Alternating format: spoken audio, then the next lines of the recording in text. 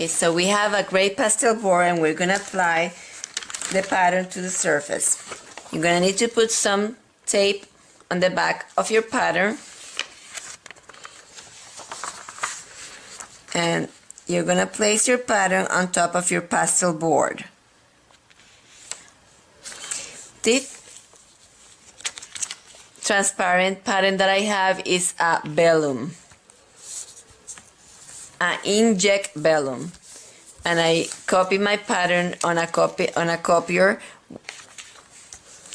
But if you don't have a vellum, you just put your pattern on top of your surface with the tape on the back, and you position, leaving some space for the dirt. Make sure it is straight. And then you're gonna take a white graphite paper.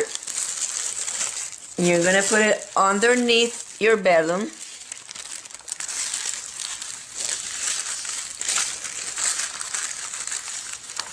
And with a stylus,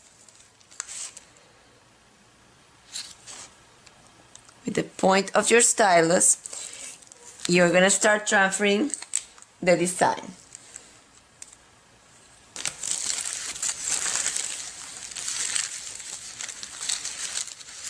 And I'm just gonna show you a small section. Make sure your tape really adhere to your surface. If not, hold hold your vellum tight while you're transferring. And you just press. And when you lift,